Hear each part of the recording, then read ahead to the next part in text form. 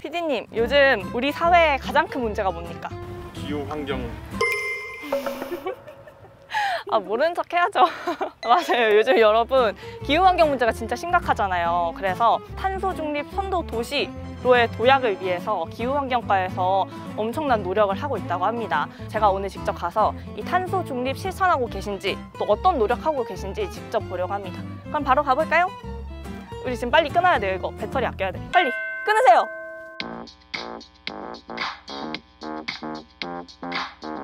친환경 도시 기후 환경과 얼마나 잘 실천하고 있는지 한번 가보겠습니다. 아, 아, 교식 업무 있겠습니다. 교식 업무 있겠습니다. 김미림 주무관님, 네, 미림님께서 직접 의뢰를 좀 주셨다고 해요. 안녕하세요. 우선 텀블러 쓰고 계시네요. 네. 텀블러 쓰고 계시네요.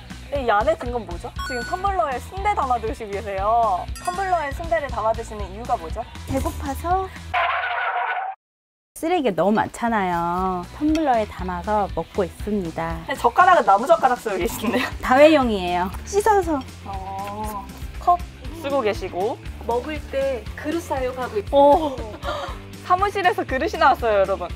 오, 있습니다. 이면지. 오늘 출근은 어떻게 하셨나요? 차로.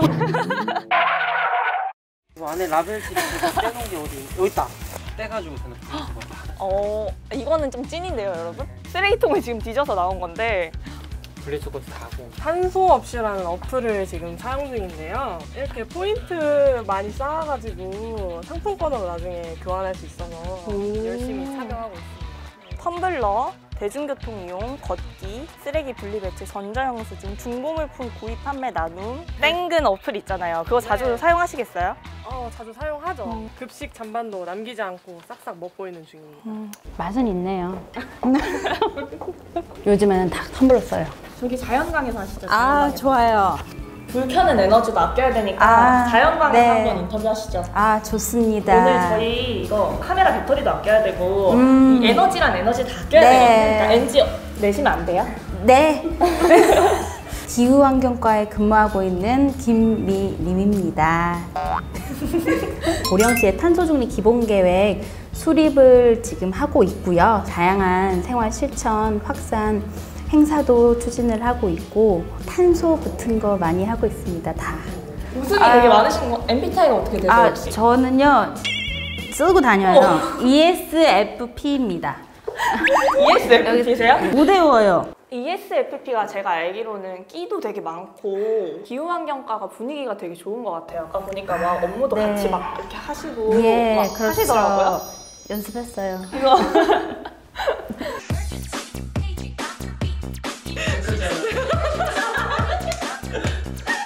말로만 탄소 중립 생활 실천 하잖아요. 이제 실제로 저희들이 실천하는 모습을 보여드리고 아 이렇게 쉬운 거구나 그냥 나도 오늘 할 수 있겠구나 라는 생각하고 하면은 이 탄소 중립 이제 분위기가 점점 확산이 되지 않을까 중요한 이벤트 같은 것도 있나요? 아, 네. 저희가 11월 11일에 탄소 중립 실천 확산 대회를 하거든요. 이제 모든 전 시민이 다 참여할 수 있는 분위기를 만들기 위해서 이번 행사를 개최할 예정입니다.